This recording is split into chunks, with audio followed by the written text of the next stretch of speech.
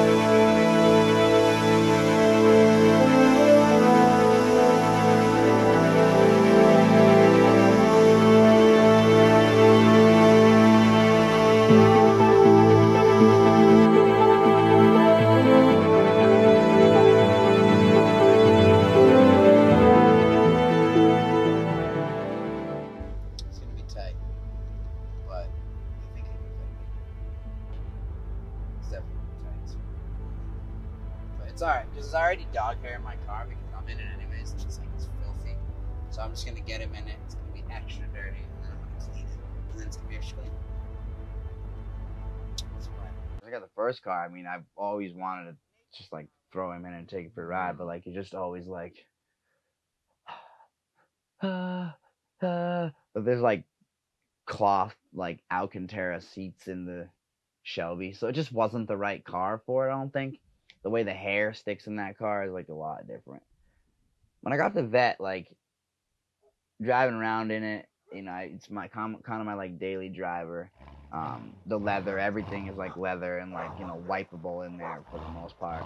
So it just seemed like that was the right car to do it in, and it was small and you could take the top off. So it, I just felt like this is gonna be perfect for you know filming this giant dog inside of this like you know crazy sports car, uh, you know. So yeah, I mean the idea I've always had the idea, but I mean overall, I mean all I really needed was just something to cover the seat, which I really didn't even need, honestly. Like he wouldn't have done anything if he got it. He just sat there. I mean, I could have wiped anything off that he would have did. Um, but we put a little blanket down, got him in the car. Yeah, that day I just, you know, I just didn't. I wanted to drive like on the highway and have somebody like drive and like pull up on him. That was the whole idea. So the first day that we did it, um, it just was like kind of overcast and it just wasn't really the best day to like take the top off and drive out and do it. So we didn't end up doing it. We just put took the top off, put them in it, took some pictures, um, you know, and you know made the best of it, which was epic.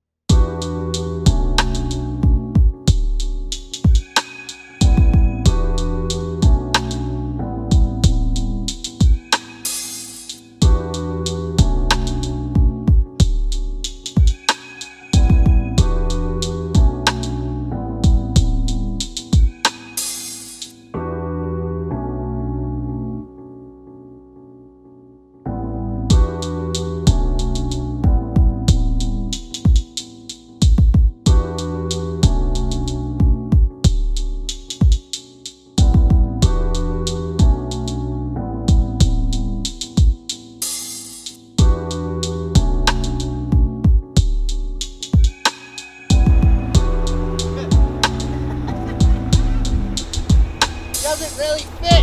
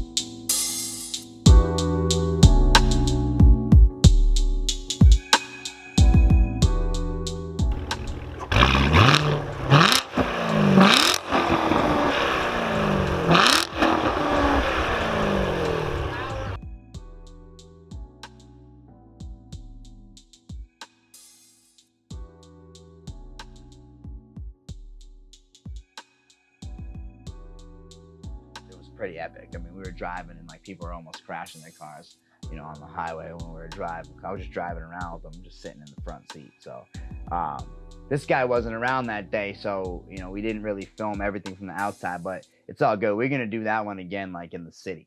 But it's not too often that you're gonna see a 180 pound dog in the front seat of a 700 horsepower That- 06.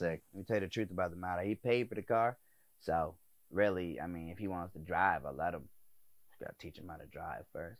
I'm bored. Let's go swim or something. Let's go. No, no, that's not where the river is.